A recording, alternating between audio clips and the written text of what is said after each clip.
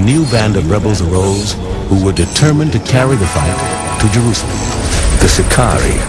To the Sicarii, anyone who wasn't fighting the Romans was a collaborator and worthy of death. Many were slain every day, and the fear men were in is worse than the calamity itself.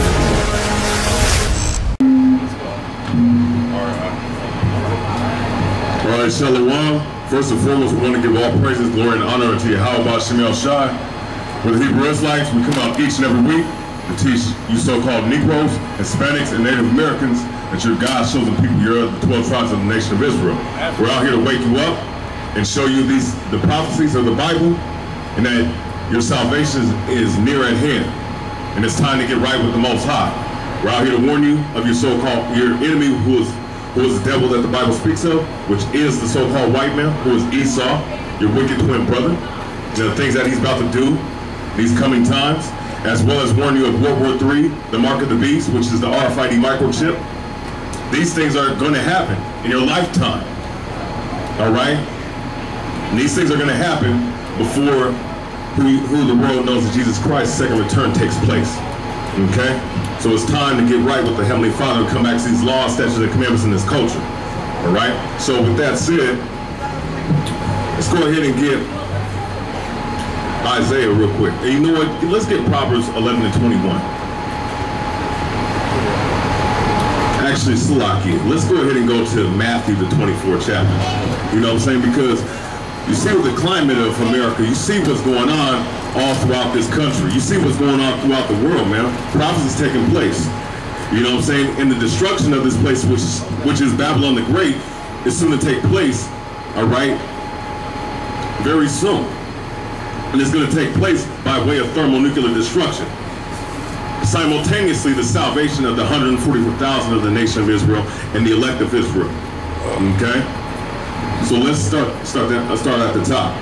And this and when we go in Matthew 24 and 1, this this is who you know as Jesus Christ speaking, who is a black man from the tribe of Judah, prophesied of these things that are that are happening right now. You can film all day. Send it, send that to YouTube, send it to whoever hell you want to send it to, man. Because this is the prophets of God, man. This is the word of God happening. Go ahead. This is the book of Matthew, chapter 24, verse one And Jesus went out and departed from the temple, and his disciples came to him for show, and him, uh, Slakia, for to show him the building of the temple. All right, man. So the new temple is going to be built, man, and it's going to be built through the elect, man. It's going to be built through the the tabernacle of David, which is the 144,000, the 12,000 of each tribe, man. All right, the 12,000 men of each tribe, for that matter, that the Lord has set up to be the governing ruling body of, of the nation of Israel. Under our King Yahweh, who you call God, under our King, who you know as Jesus Christ, man, which is Yahweh Shah, man. So go ahead. Huh? You know? Him. Go ahead. Verse 2 And Jesus said unto them, See ye not all these things? Verily I say unto you, there shall not be left here one stone upon another that shall not be thrown down. Right, man. You know what I'm saying? And you know, you deal with America. You know what I'm saying? You deal with these damn Edomites, so-called white people, like this pedophile right here that's filming us right here. His, his kingdom's gonna be thrown down, man. Him and his children's gonna be thrown down. You know what I'm saying? And the rest of these damn Edomites gonna be thrown down, man. And the damn wicked Israelites, the two-thirds that love them. You know what I'm saying? You, you Uncle Tom, Sambo sellouts, man. Gonna be destroyed along with him, man. Go ahead. Verse 3 Because every every kingdom's gonna be brought down to the ground by who you know as Jesus Christ, man. Go ahead. Verse 3 And as he sat upon the Mount of Olives, the disciples came unto him privately, saying, Tell us, when shall these things be?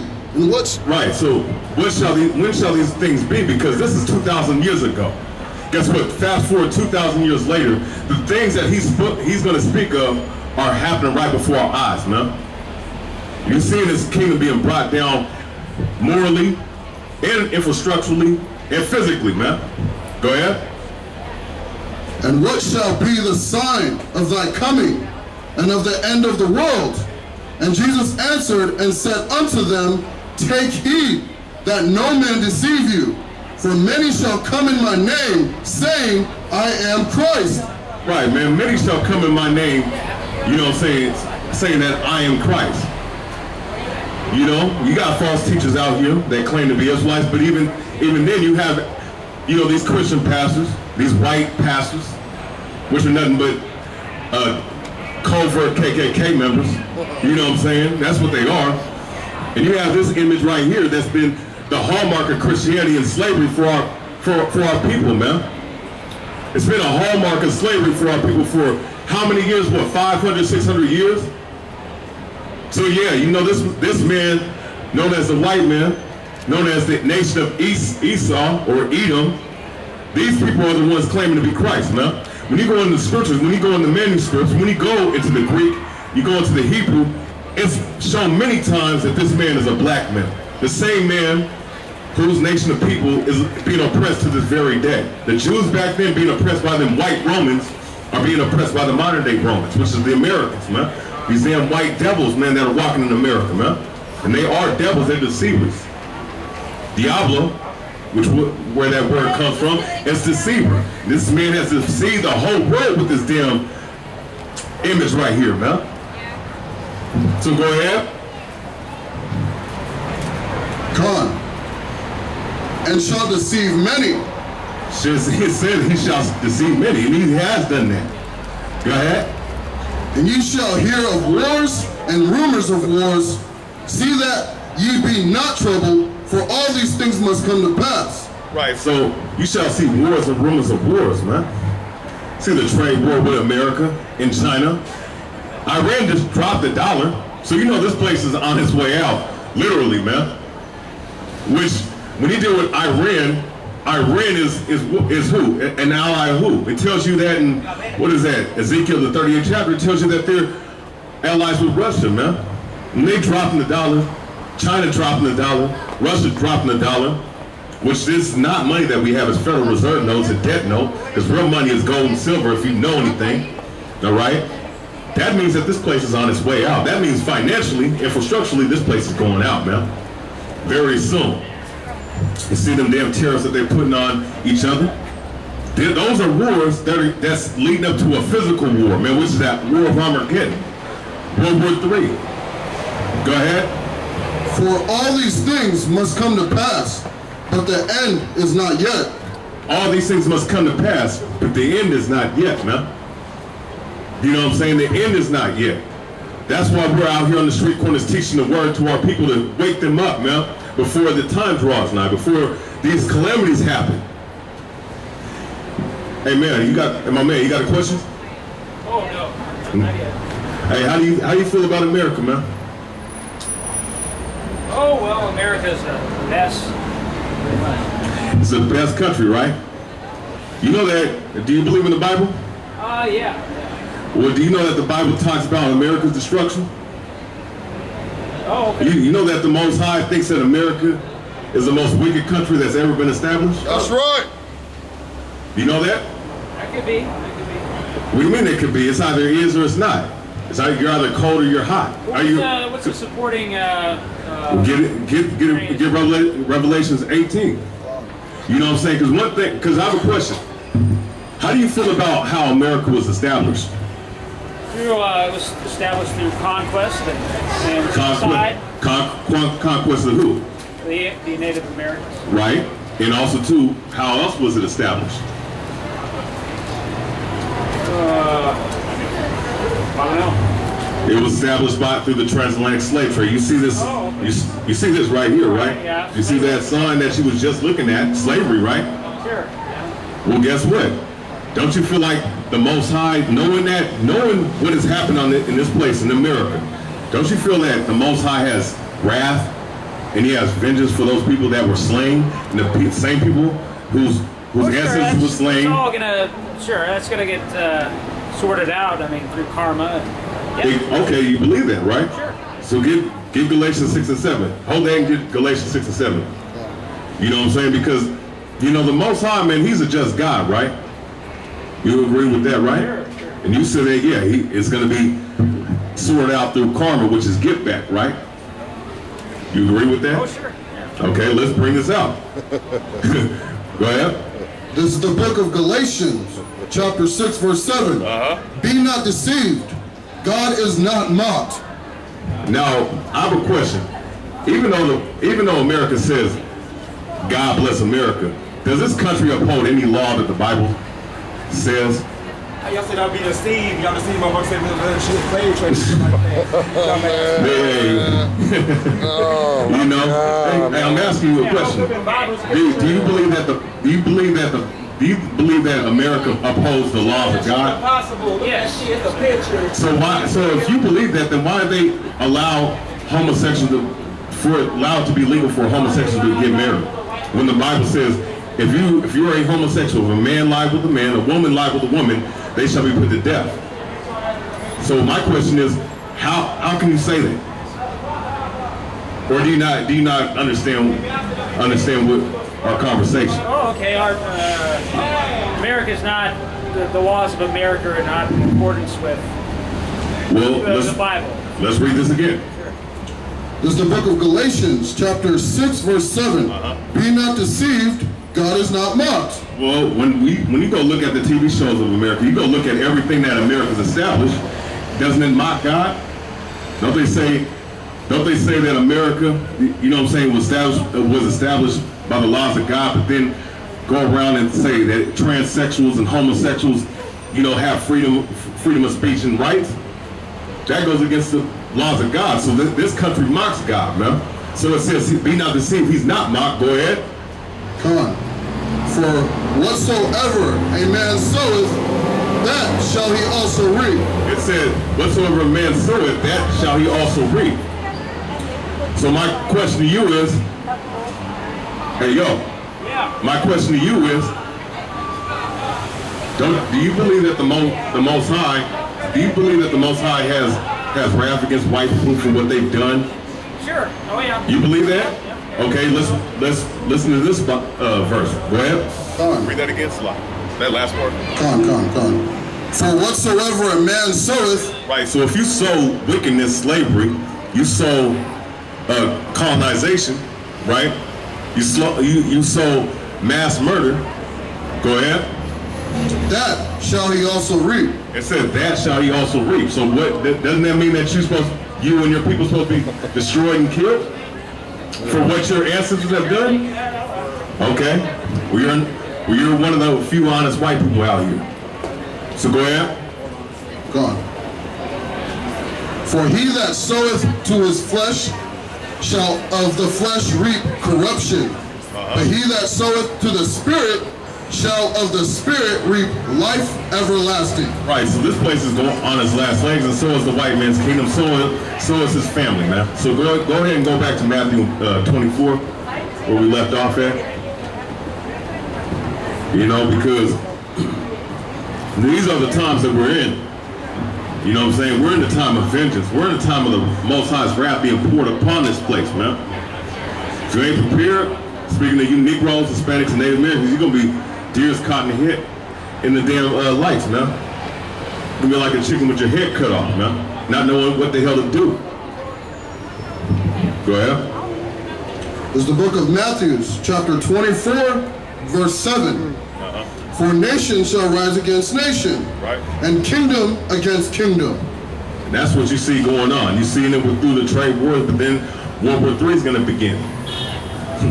These very things that's recorded in the Bible is coming to pass right before, before your eyes right now. Go ahead. Second. And there shall be famines and pestilence and earthquakes in diverse places. No, we don't. We don't. We don't want no hard work, man. About the powers of the air. Hey, we don't want no artwork, man. No, you don't. You don't. No, I don't want no artwork from you, man. Why? Because you're the devil and you're beneath me. Yeah.